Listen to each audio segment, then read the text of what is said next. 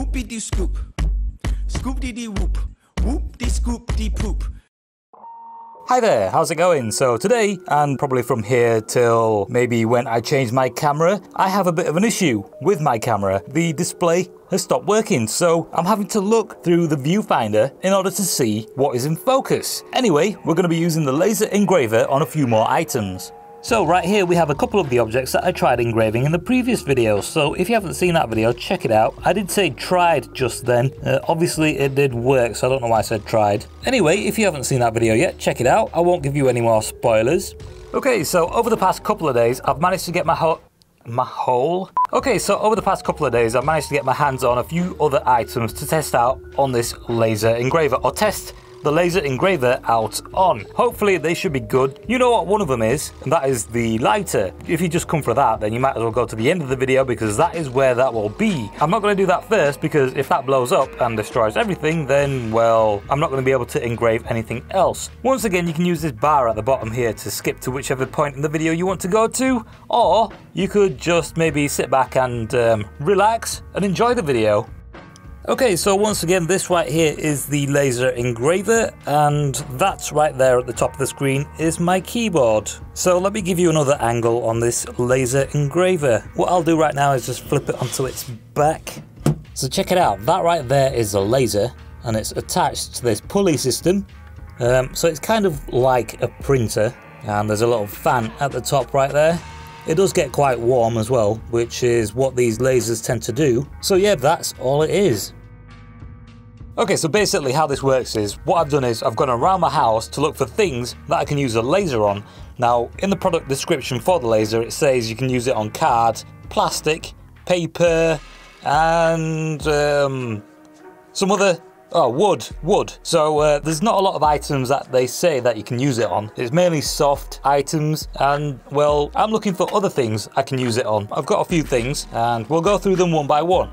Okay, so the first item we have here is this stuff. This you can probably find in most offices. It goes by the name Blu Tack. What I'm to do is I'm just going to take off a little piece of this. We don't need to use all of it. I think about that much should do. So what I'm going to do is I'm going to roll it into a little ball like this and then I'll flatten it out and I'll try to print out a little face. Okay, so I think that is about as flat as it's gonna get. And what I'll do now is bring this forward and I'll put this about here somewhere. So now I'll load up the software for the laser. After I plug it in, Alright, so right here we have the software for it, and I'm just going to drag this image into here. So I'll choose one of these. Usually if the picture you drag in is in colour, the one on the right here will be grayscale, and then this one will just be black and white. So what I'm to do is choose this one, and I'll probably have to shrink the image a little bit. So let's make it a bit smaller.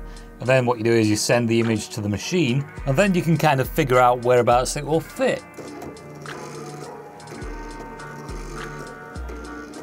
So I'm going to have to shrink this a little bit more and then move the laser over to the right a little bit and then up a little bit to get it a little more centered. So I'm going to shrink this a bit more now and then resend it to the machine. So we're getting a bit closer. I'll shrink it a little bit more and that should be about it. Okay, so I think that's about good enough. Now I need to grab these glasses that came with a laser. Check out the mystery box video to find out more about this laser and the software. So glasses are on and now, and now I'm focusing the point of the laser until it's nice and then I'll recenter it to make sure everything is fine. Looks good enough. Now what I'll do is I'll turn the burn time down from 55, which is what I used on the last object in the previous video, to about 25. And I should really open a window now, but um, I think I'll probably, I, I think I'll survive. So uh, let's just press start and see how it turns out.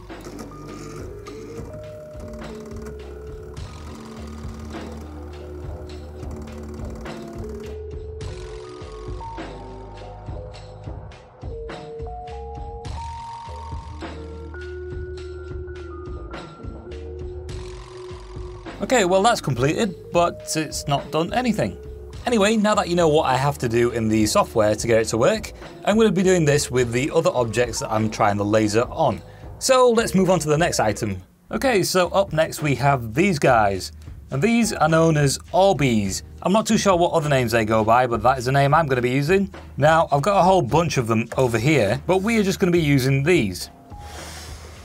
Okay, so for the container that these Orbeez are in, I'm going to need to put down some grip. And this right here is a silicon mat, which will provide the grip that we need. So that's going to go there like that. And then these are going to go on top of my head. I mean, over here on the mat. And you can see that laser shining in one of the Orbeez right there. Now, it's going to be a little difficult trying to focus the laser. I'll put this there just to focus the laser on first before actually doing this. Now, I'll focus the laser to get it nice and sharp. I need the glasses. Okay, so that's about as sharp as it's going to get. Now, I'll put the thing back in there and we can continue. Okay, so where was it? It was about... Um... Okay, so I think that should be about good enough. And now let's see whereabouts this is going to print. Okay, so this time I'm going to turn the burning up to 70 and let's press start and see what happens.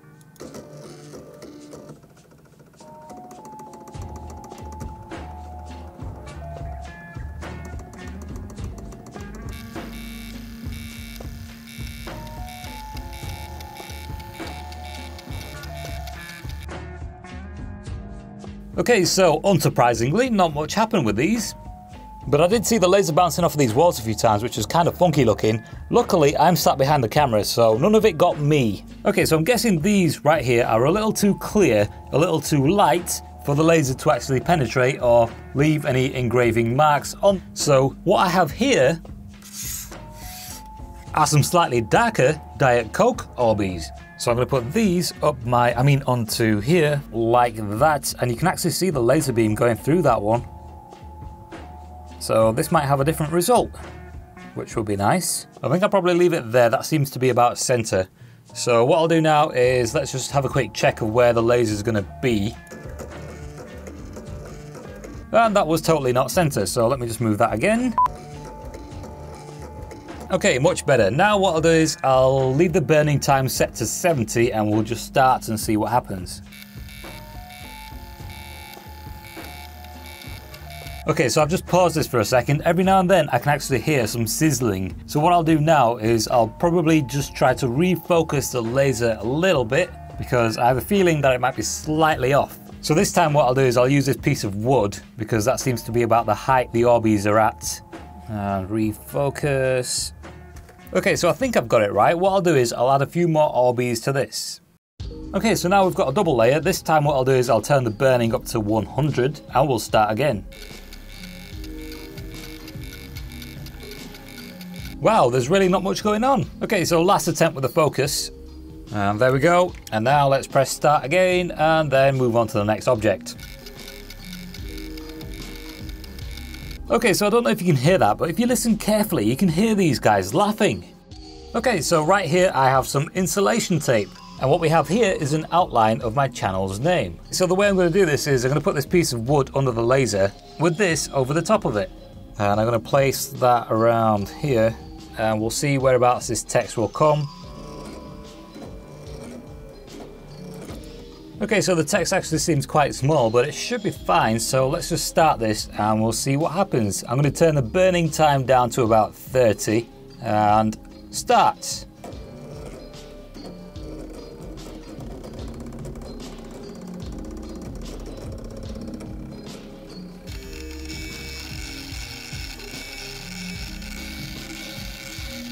Looks like it's done a decent job.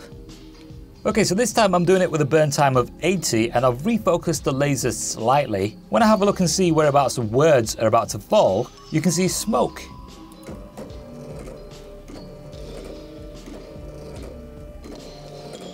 Okay, so let's start engraving and see what the difference is.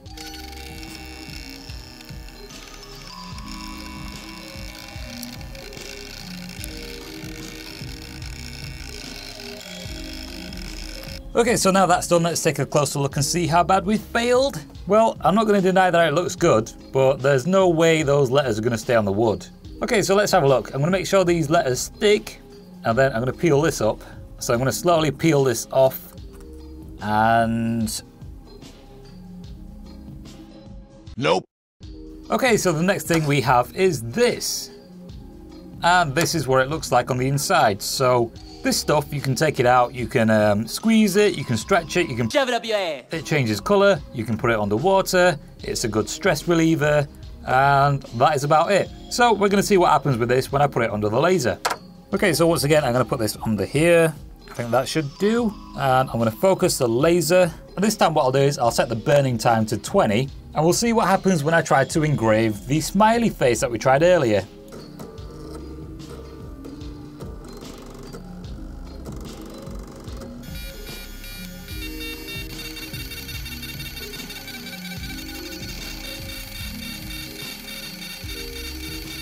Okay, so I stopped this a little earlier than normal. All it really did was burn the top. On to the final object, and this is the one that you've all been waiting for. And here it is. This is the lighter I'm going to be engraving. So just to show you that it still has lighter fluid inside of it, it works. Let's put it under the laser and see what happens. Okay, so once again, so you know I'm not faking anything. And we'll put that right right about there, I think. Maybe turn it around this way. I think that's probably better. Okay, so what I've done is I've got a bunch of dashes inserted into the software and I'm going to send those to the machine right now. I'll move the lighter down a little bit more, maybe to the side a little bit. And now what I'll do is I'll focus the laser, make sure it's nice and fine. And now we will start. So I'm going to stand back just in case. I'm going to set the burning time to around 80, 85. Okay, and start. Okay, so it's complete, and I actually had my ears covered with my fingers. Okay, just to show you I'm not a little biatch, what I've got now is a permanent marker. And obviously this lighter is kind of see-through, so making it black like this will help the laser engrave. So this will be the second attempt, and this time I'm going to turn up the power to 100. Okay, so let's have a look and see whereabouts it's going to engrave. Perfect. Uh, this time I'm going to walk out of the room until it's done. Let's see what happens.